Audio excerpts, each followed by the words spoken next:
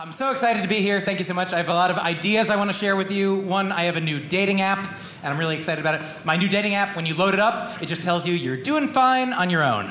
it's like, look, you've seen people, you're great. Shows you photos of yourself looking good, only allows you to swipe right to demonstrate self love, and my app is called Tender. Uh, I try to be nice uh, so I'm not going to do any crowd work, classic crowd work questions for comedians. Like, uh, where are you from? And what do you do? And those are risky questions in this day and age, right? Like, what if I'm like, hey, uh, what do you do? Uh, the economy actually hit me pretty hard recently, and uh, I guess to answer your question, what I do is come to comedy shows and uh, hope people don't ask me that question. So. If you want to move on, I guess. Uh, all right, where do you live? Rent's really high as well, so uh, technically, please don't tell them, but I live here right now. So, I like talking to people. I met a guy named Greg once, and one time when I said that, somebody cheered in the audience, and was like, "Oh, is your name Greg?" And he was like, "Nope." Angelo. I was like, "Oh, Angelo, why did you cheer? And he's like, oh, my best friend's name is Greg. And I'm like, oh, is he here? And he was like, nope. Angelo.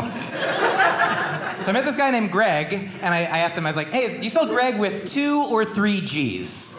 And he said one. So then I was like, which one? Is it Greg? Is it Reg? Look, You've had your name longer than I've had it. Like, I don't mean to Greg explain to you here, but maybe you have a shortcut that I'm like, how do you spell it? Like, maybe you're a genius, right? Maybe you're an genius. I don't know. Maybe. Maybe you're a magician.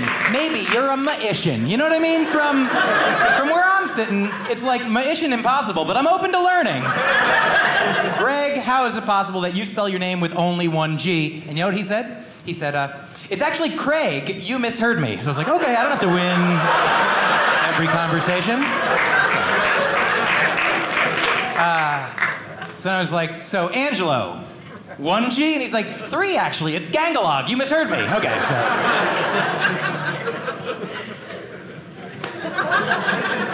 I like telling jokes. I've been telling jokes since I was a kid. As a kid, I just go up to individuals, one at a time, kids I know. I didn't know you could just gather everybody in Utah all at once, you know? But uh, I remember one of the first jokes I ever remember telling, I would just go up to kids one at a time and I'd say, hey, somebody called you an owl.